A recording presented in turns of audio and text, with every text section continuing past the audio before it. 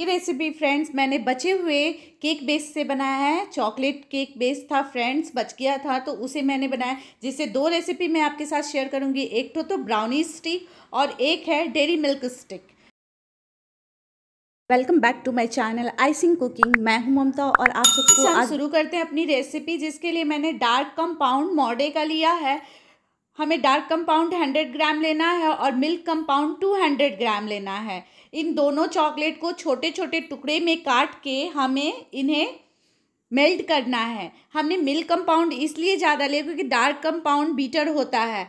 अब यहाँ देखिए फ्रेंड्स हमने इसे कट कर दिया है। अब डबल बॉयलर की हेल्प से हम इसे मेल्ट करेंगे। तो ये देखिए हमने एक बर्तन में पानी गर्म किया। अब उसके ऊपर हमने रख दिया। अब ये धीरे धीरे मेल्ट हो रहा है, तब तक हम क्या करेंगे कि जो हमारा बचा हुआ केक बेस था, स्पॉन्ज केक, इसकी रेसिपी मैंने डिस्क्रिप्शन में उसकी लिंक डाल दी है। ये बहुत ही अच्छा केक बेस का रेसिपी मैंने शेयर किया था विदाउट मोल्ड। तो इसको हमें तोड़ के इसका एक पाउडर मिक्सचर बना लेना है, मिक्सी में इसे ब्लेंड करके। तो जितना भी है तो इस तरह का मिक्सचर आपको रेडी करना है। तो इस तरह से जितना बेस हमारे पास था, उसका मैंने बना लिया। ये एक पाउंड से कम था बेस। तो यहाँ देखिए फ्रेंड्स, अब ये चॉकलेट जो है, इसे, ये गर्म हो चुका है और इसे हमें मेल्ट करना है। यदि आपको चॉकलेट माइक्रोवेव में मेल्ट करना है तो थर्टी सेकेंड के लिए आप अवन प्रूफ बर्तन में रखिएगा, स्टील में बिल्कुल मत रखिएगा। और हमें चॉकलेट को ना बिल्कुल एकदम स्मूथ इस तरह से मेल्ट करना है। उसका, अब हमने जो मिक्सचर रेडी किया था, उसमें काजू डाल देंगे छोटे छोटे टुकड़े में। और उसे हम अच्छी तरह से मिक्स कर देंगे। फ्रेंड्स आपको और ड्राई नट्स पसंद हो तो आप इसमें और भी आलमंड्स वगैरह ऐड कर सकते हैं। वॉलनट भी ऐड कर सकते हैं। अब दो बड़े चम्मच हमने मेल्टेड चॉकलेट लिया है। अब इसी से हमें इसका जो है ना फ्रेंड्स डो रेडी कर लेना है। डो की तरह हमें इसको बनाना है। तो इस तरह से देखिए फ्रेंड्स इसमें आप पानी ऐड मत कीजिएगा। और यदि आप यहाँ पे मेल्टेड चॉकलेट ऐड नहीं करना चाहते हैं तो आप यहाँ पे मिल्क मेड भी ऐड कर सकते हैं। बट लेकिन इसमें आप दूध मत मिक्स कीजिएगा। तो इस तरह से हमने मेल्टेड चॉकलेट मिक्स करके इसका एक हार्ड डो रेडी करना है, क्योंकि इसका दो रेसिपी मैंने शेयर कर रही हूँ मैं इस वीडियो में। एक तो डेरी मिल्क स्टिक बनेगा और एक बनेगा ब्राउनी स्टिक जो आपको पसंद हो आप बनाना।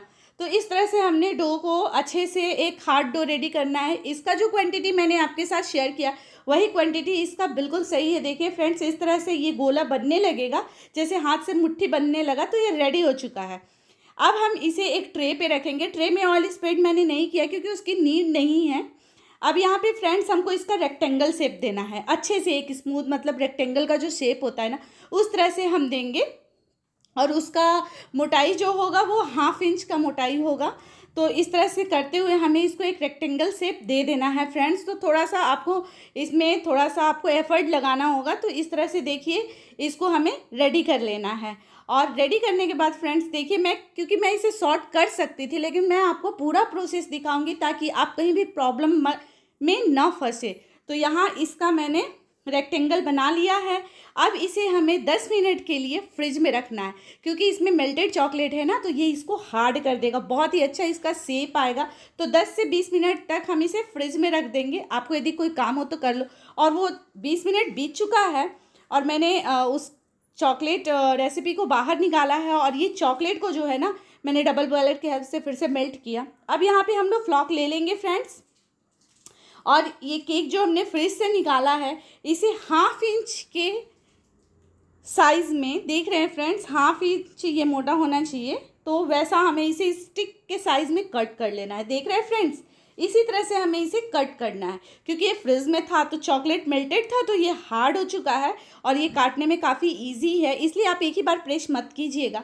अब चाहिए तो आप ऐसे खा सकते हैं, इसे ब्राउनी की तरह।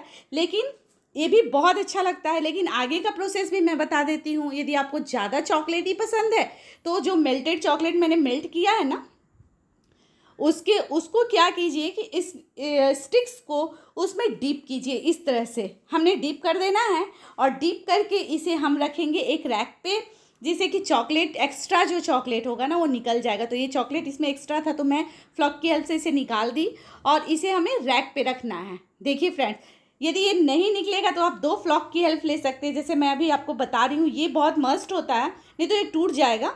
और इसे आपको फटाफट करना है क्योंकि इसमें मेल्टेड चॉकलेट है और ये गर्म में जैसे ही जाएगा ना तो ये मेल्ट होने लगेगा। तो यहाँ देखिए तो इस तरह से फटाफट आपको करके इसको रैक में रख देना है। अब इसे मैं वाइट चॉकलेट से डॉट बना दी है मैंने। चॉकलेट मेल्ट करके मैंने वाइट चॉकलेट से डॉट बनाया है पाइपिंग बैग में डाल के। अब मैं इसे दस मिनट के लिए फ्रिज में रखूँगी। रेफ्रिजरेट करूँगी और उसके बाद दस मिनट बीत चुका है फ्रेंड्स, और ये देखिए, इसे आप तुरंत बिल्कुल मत हटाइएगा, नहीं तो इस टूट जाएँगे।